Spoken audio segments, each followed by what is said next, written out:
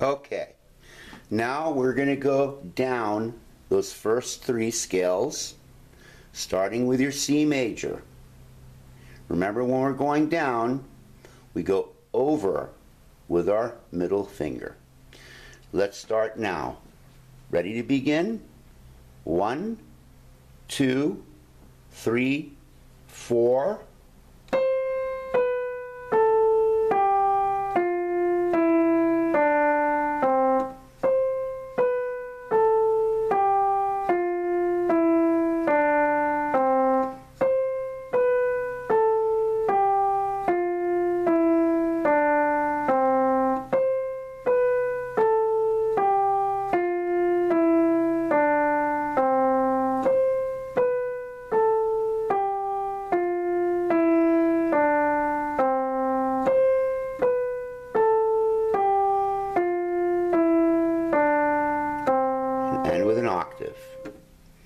All right, let's move on now to our D major.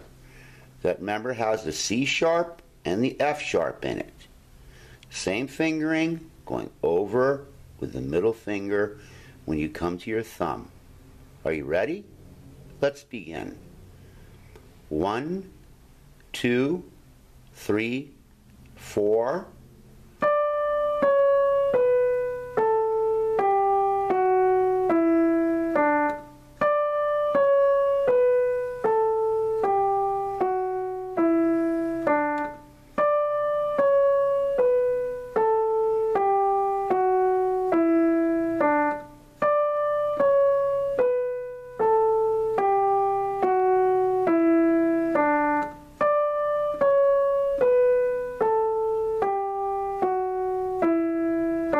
With your octave.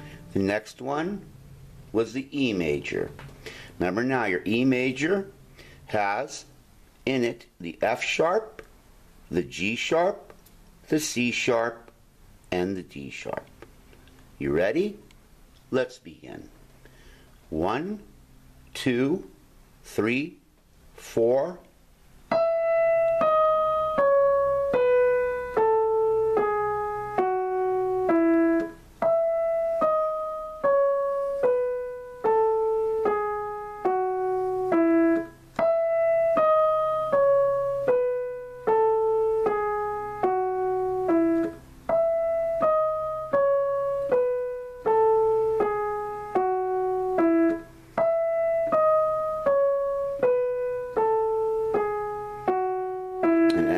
octave. A little extra.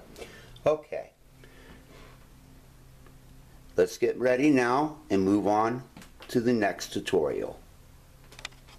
The next lesson.